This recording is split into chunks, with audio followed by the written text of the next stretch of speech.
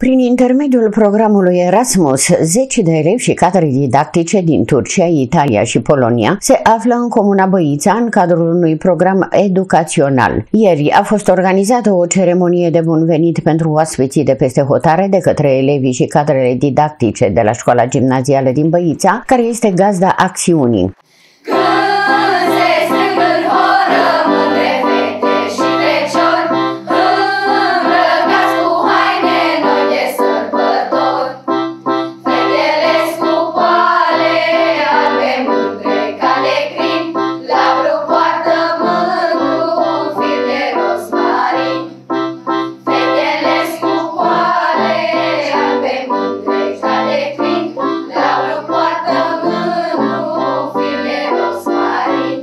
Oaspeții din Italia, Polonia și Turcia au fost primiți într-o școală ultramodernă, care a fost recent renovată prin implicarea administrației publice locale din comuna Hunedoreană Băița. Pentru administrația locală, copiii sunt pe primul loc. Copiii trebuie educați, trebuie să aibă condiții unde să învețe, să le fie drag să vină la școală, să unde Uh, să aibă un comportament civilizat. Sigur că tot timpul mi-am dorit acest lucru și cu un an, doi în urmă am reușit să modernizăm și să pregătim această școală să arate, cum ați văzut uh, și dumneavoastră astăzi, zic eu, foarte, foarte bine. Uh, cred că este una dintre școlile cele mai elegante, să folosesc cuvântul ăsta, din județul Hunedoara. Proiectul, cu participare internațională, se intitulează Învățarea limbii engleze prin intermediul poveștilor. În cadrul acestuia se desfășoară în această săptămână mai multe activități, principalul scop fiind ca elevii să socializeze între ei. Am început cu o excursie la Sibiu, unde le-am arătat uh, câteva locuri uh, simbolice pentru țara noastră. Apoi, astăzi am avut aici la școală deschiderea, deoarece am avut o țară care a întârziat puțin din cauza zborurilor. Iar începând de astăzi o să desfășurăm în fiecare zi, de astăzi până vineri, activități cu elevii din Turcia, Polonia, Italia și elevii noștri, elevii școlii noastre. Vom desfășura activități educative pe tema proiectului. Proiectul se numește numește învățarea limbii engleze uh, prin intermediul poveștilor.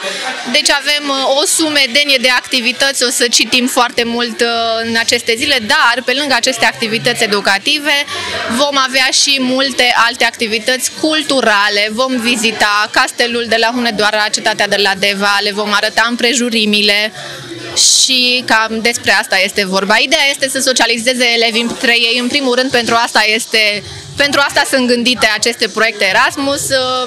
Pentru cei de la școala din Băița, participarea în cadrul acestei acțiuni reprezintă o deschidere spre Europa și, totodată, o obligație de a accesa noi proiecte educaționale cu participare internațională. Pentru școala din Băița înseamnă foarte mult. Este primul program de acest gen. Înseamnă că avem legături cu mai multe state, mai multe țări și în mod deosebit europene. Înseamnă că putem să scoatem copiii noștri din Băița, din România, să-i ducem să vadă și alte culturi, alte civilizații. Pentru noi înseamnă foarte mult că avem parteneri, copiii noștri socializează și văd care sunt problemele și în alte țări, în alte state. Înseamnă bani, bani pe care trebuie să îi accesăm și care, de care să beneficieze copiii noștri. Oaspeții de peste hotare ai băiței au fost plăcut impresionați de felul în care au fost primiți pe meleagurile hunedorene și speră ca această colaborare să continue și în viitor. It's a great opportunity for us. Sunt foarte încântată de participarea la acest proiect. Uh, nu e pentru prima dată când uh, suntem noi aici în România. Am mai avut uh, parteneri de aici din România pentru proiectele noastre Erasmus.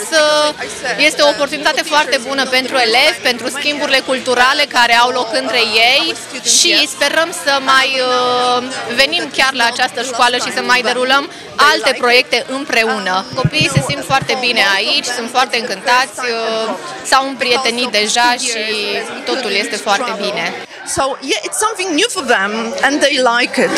La proiectul Învățarea limbii engleze prin intermediul poveștilor de la școala gimnazială din Băița participă, pe lângă gazde, 46 de profesori și elevi din Italia, Polonia și Turcia.